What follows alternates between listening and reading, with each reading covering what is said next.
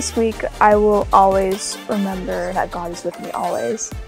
Um, for lots of my life, I've been taught, you know, based on my background or my identity, that God loves me, but XYZ.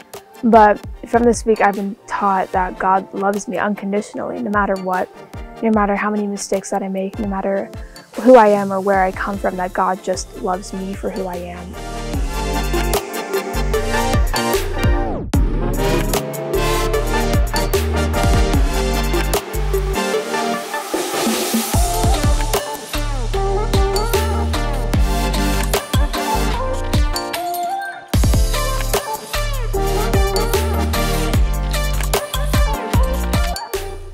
The way I'm gonna apply what I learned this week outside of camp is by just even through like the darkest times or like where I feel like I'm really struggling, I'm always try to say to myself, God is there with me. I'm not doing this alone, so I have nothing. Well, I do have things to fear about, but like it's not it's not like crazy. I can just like relax and be like, God, you've got this. Like just lead me where I need to be right now.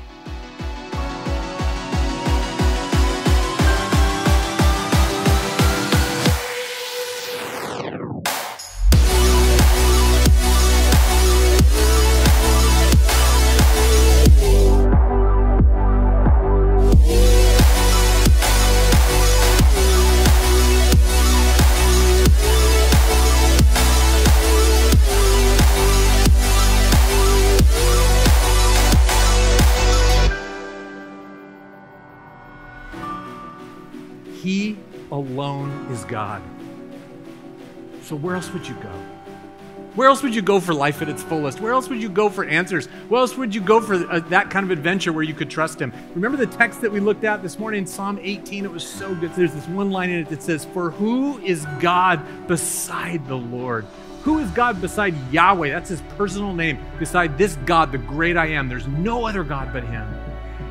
And so as we think about following Him down the road, the question is, where?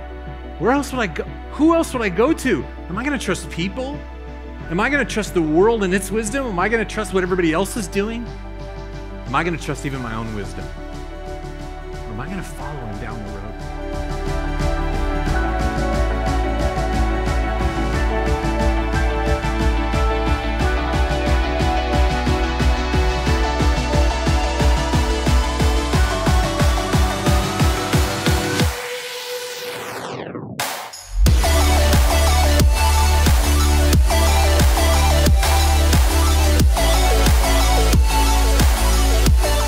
I'll apply what I learned at camp at home when like there's conflict going on and I'll always know that God is in between everything and even when I'm at my darkest time at home he's always right by my side.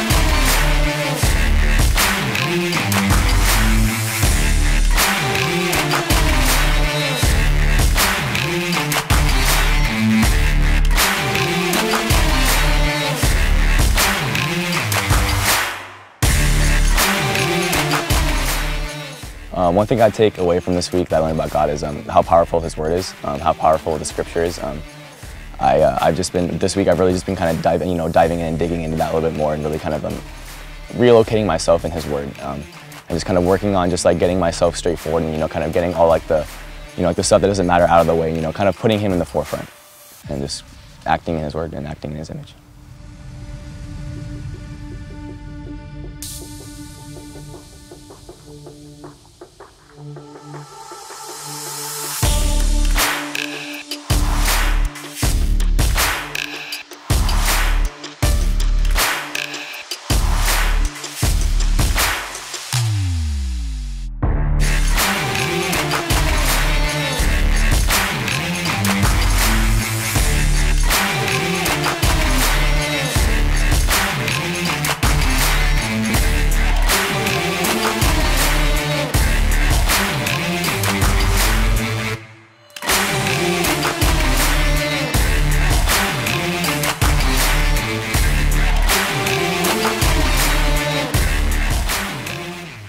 Ponderosa Lodge is a place where you can feel God's presence um, in a way that you can't always when you're out of um, this place, but it also shows you what life can be like if you truly live through God.